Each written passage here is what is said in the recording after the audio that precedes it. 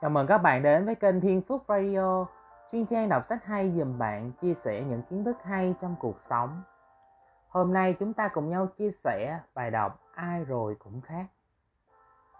Ngày còn trẻ, tôi khó giữ được cảm xúc trong lòng nên chuyện gì cũng kể lể cho bạn bè nghe.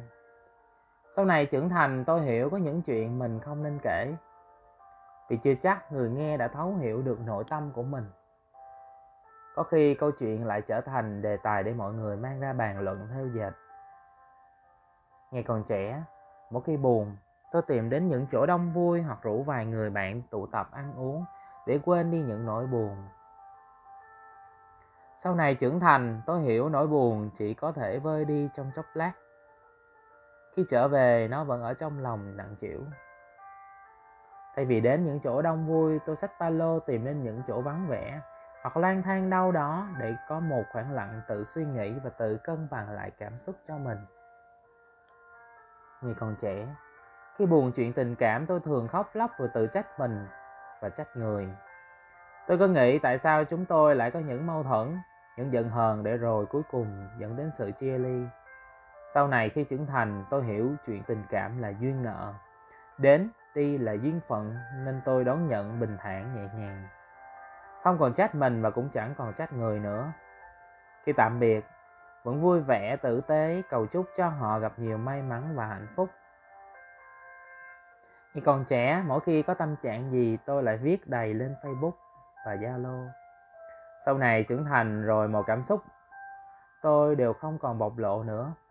Khi buồn, tôi xóa phay vào ngày và ngưng truy cập zalo vài hôm. Tôi viết nhật ký cũng chỉ là để tiền để mình tôi đọc được thi thoảng tôi đăng bài vài cái ảnh để mọi người biết tôi vẫn khỏe, lâu lâu đăng vài status vui vui. Không ai biết được tâm trạng của tôi ra sao nữa. Lúc còn trẻ tôi nóng tính, vội vàng, nông nổi. Bao nhiêu thì bây giờ tôi điềm tĩnh, chịu đựng, ít nói, ít bận tâm đến xung quanh bấy nhiêu. Theo thời gian, rồi ai cũng nhận ra mình đã thay đổi quá nhiều, rồi ai cũng sẽ khác. Chính mình của những ngày xưa ấy. Hãy sống vì bản thân mình đi. Có những người mắc sai lầm một đến hai lần, rồi họ cố tìm mọi cách để thoát ra, nhưng không thể. Đơn giản vì họ không tin vào bản thân mình. Họ không nghĩ rằng rồi mọi chuyện cũng sẽ ổn thôi. Có những người cứ ngộ nhận, luôn lưỡng lự trước mọi việc nên cố tình, vô tình. Họ tự đánh giá thấp mình. Đến một lúc nào đó, những người xung quanh sẽ không cảm nhận được sự tồn tại của họ.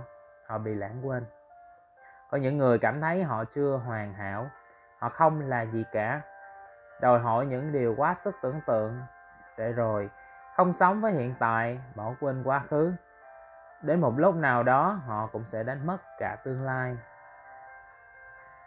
Nhưng cũng những người bị đối xử bất công rồi bị xem thường, bị hiểu lầm, vậy mà họ vẫn luôn tự nói với mình rằng, không sao cả, mọi thứ rồi sẽ ổn thôi thế nên họ vẫn vượt qua được mọi chuyện, dù tồi tệ đến đâu thì họ vẫn tồn tại.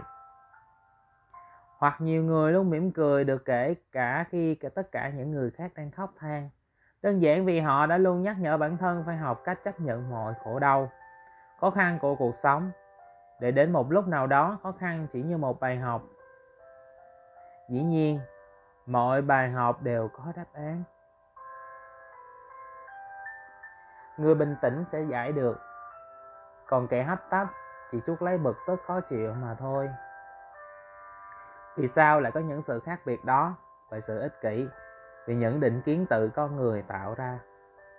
Hãy thôi nghĩ về bản thân mình quá nhiều, đến mức không còn nhận ra những điều tốt đẹp xung quanh. Thôi mặc quần jean bụi bặm yêu thích, chỉ vì có người nói trong nó thật lố bịch. Không dám đến quán uống bia chỉ vì một người ta nói, ăn nhậu là không tốt, không dám nói không khi người khác yêu cầu bạn làm những việc bạn không thích, chỉ vì sợ người đó sẽ không nói chuyện với bạn nữa. Thay vì cố gắng làm hài lòng tất cả suy nghĩ của người khác về mình, hãy sửa lại những điều bạn nghĩ bản thân mình chưa thực sự tốt. Và đó là quyết định của bạn chứ không phải của bất kỳ ai khác. Miễn nó thật sự đúng đắn. Hãy nhìn những điều tốt đẹp mà bản thân bạn đã từng làm được dù không nhiều đến mức để cả thế giới nhìn thấy nhưng đủ để những người yêu thương bạn phải tự hào rằng có một người như bạn ở bên. Hãy sống vì chính bản thân mình xem. Khi bạn làm được điều đó rồi, bạn sẽ biết khả năng của bạn kỳ diệu biết bao nhiêu, bởi đã làm những điều tưởng chừng như không thể.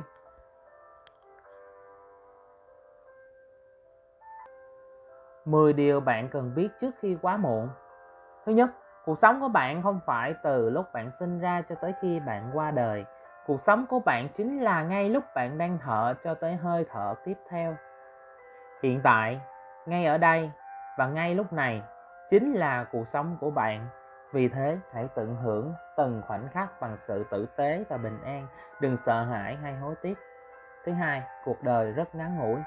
Đây là cuộc sống của bạn và bạn phải đấu tranh vì nó. Hãy đấu tranh vì những điều đúng đắn đấu tranh vì điều mà bạn tin tưởng, đấu tranh vì những thứ quan trọng với bạn. Đấu tranh vì những người bạn yêu thương và đừng bao giờ quên họ. Rằng họ có ý nghĩa nhiều như thế nào với bạn. Ngay bây giờ hãy hiểu rằng bạn may mắn khi vẫn còn cơ hội, vì thế hãy dừng lại một chút và suy nghĩ. Bất cứ điều gì bạn cần phải làm thì hãy làm ngay trong ngày hôm nay. Thứ ba, những hy sinh của bạn ngày hôm nay sẽ được đền đáp vào ngày mai khi nói đến chuyện làm việc, chăm chỉ để đạt được một ước muốn như nào đó. Tốt nghiệp đại học, gây dựng sự nghiệp, hay đạt được một thành tựu nào đó đòi hỏi thời gian và sự quyết tâm? Tôi muốn hỏi bạn một điều, bạn có sẵn sàng sống một cuộc đời khác với mọi người hay không? Thứ tư, khi bạn trì hoãn, bạn sẽ trở thành nô lệ của ngày hôm qua. Nhưng khi bạn chủ động, ngày hôm qua sẽ là một người bạn tốt làm động lực thúc đẩy bạn vì thế, hãy làm điều gì đó ngay từ bây giờ để tương lai bạn phải cảm ơn bạn. Thứ năm, thất bại là bài học mà bạn nhận được. Những điều tốt đẹp sẽ đến với những ai biết hy vọng ngay cả khi họ đã làm những người khác thất vọng.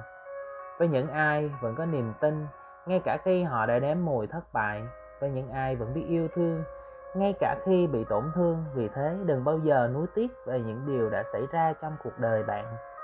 Chúng ta không thể thay đổi, không thể làm lại hay quên nó. Hãy biến chúng thành những bài học và sống tiếp bằng lòng biết ơn. Thứ sáu, bạn là người quan trọng nhất với chính mình. Hạnh phúc là khi bạn cảm thấy hài lòng với bản thân, mà không cần sự đồng tình từ ai đó. Bạn phải đối xử tốt với chính bản thân mình trước khi muốn có mối quan hệ tốt với người khác bạn phải tự thấy bản thân mình có giá trị thì mới có thể tự tin trong mắt người khác. Thứ bảy, hành động của một người nói lên sự thật.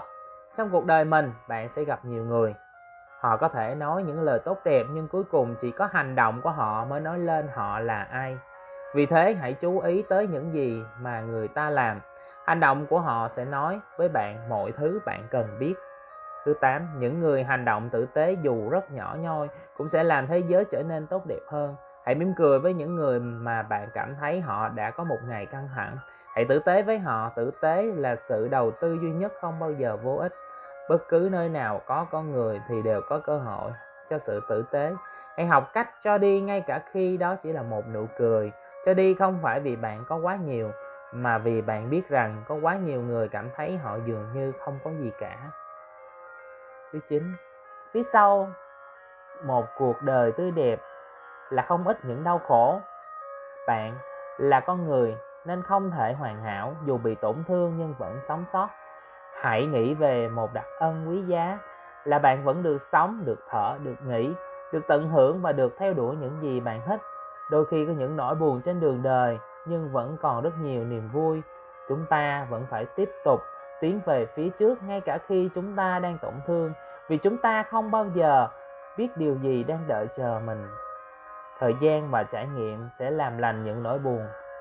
Bạn cần hiểu rằng một chuyện buồn trong cuộc sống dù có đau đớn đến mức nào rồi đến một ngày nào đó chỉ chỉ là một phần rất nhỏ bé so với cả quá khứ của bạn và nó cũng không nghiêm trọng đến mức như bạn nghĩ bây giờ.